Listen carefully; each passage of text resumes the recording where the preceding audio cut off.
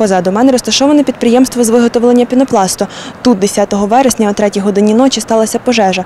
За словами керівника прес-служби головного управління Державної служби з надзвичайних ситуацій в Тернопільській області Сергія Даніліна, ліквідувати пожежу вдалося о 14.56.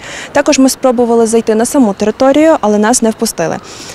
Ми зв'язалися із представниками цього підприємства. Вони повідомили, що сьогодні керівництво коментувати ситуацію не буде.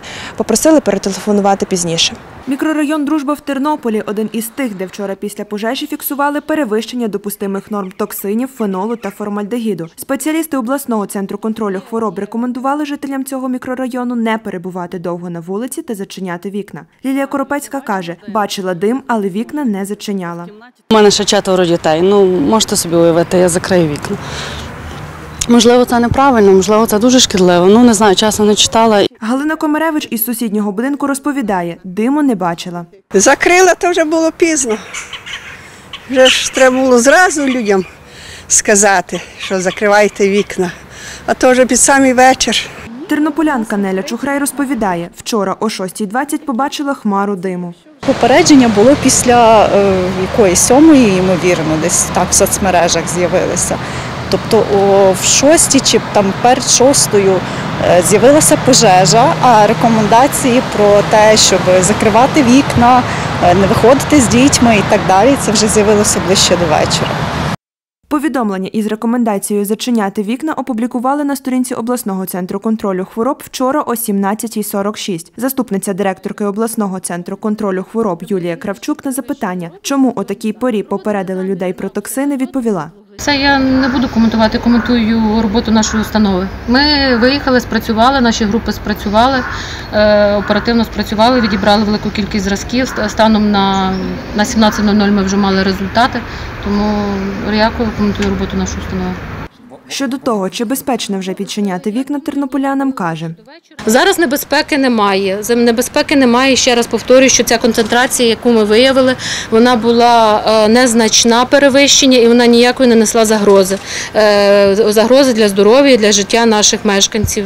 Показники токсинів, які зафіксували працівники лабораторного центру, не є небезпечними для людей, каже кандидат хімічних наук Віктор Барановський. За його словами, фенол та формальдегід є небезпечним для людини лише при постійному вдиханні.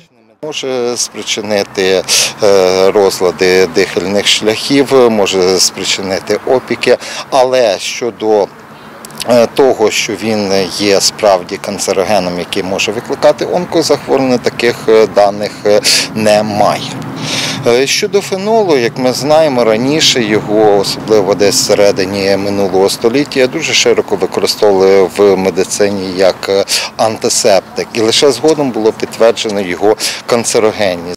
Нагадаємо, пожежа на Миколинецькій розпочалась 10 вересня приблизно о 3 годині. Повідомили рятувальники. Площа пожежі становила 9 тисяч метрів квадратних. На місце пожежі прибули 50 рятувальників. До гасіння також використали пожежного робота з Рівного, розповів речник пожежно-рятувальної служби області Сергій Данілін. Сьогодні чергує пожежно-рятувальний підрозділ там на місці і слідкує за тим, щоб не виникало е, додаткових загорань, оскільки на підприємстві зберігався легкозаймистий матеріал, пінопласт, можливі невеликі е, загорання, тління і виділення диму е, на місці е, пожежі. Ми телефонували до заступниці директора Центру екстреної медичної допомоги в області Ганни Мончак. Вона повідомила, що після пожежі із симптомами отруєння чи алергії до швидкої ніхто не звертався.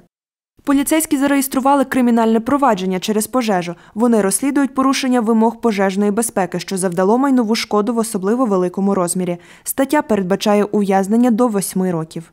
Наталія Бончук, Діана Качуровська, Андрій Прокопів, Андрій Бодак, Суспільне новини, Тернопіль.